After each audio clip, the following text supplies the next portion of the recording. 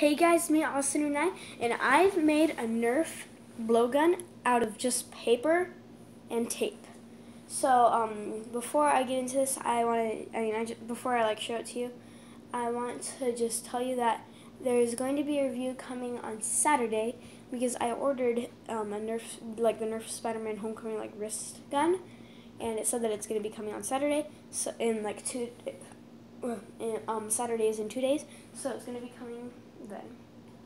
Okay, so um, my mom and I got um, paper and we like we like cut it.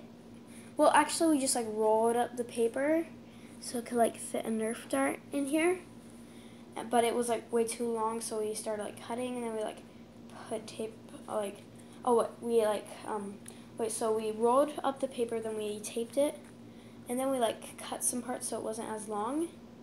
And then my mom drew like a Nerf logo and she also wrote blowgun on it. See?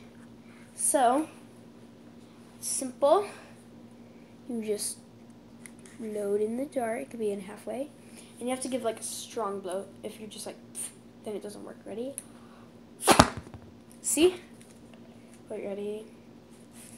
It doesn't shoot that far, but um, tomorrow my mom and I probably going to go to like a hardware store and get like um, a PVC pipe and um, and make a Nerf blow gun out of it. Ready?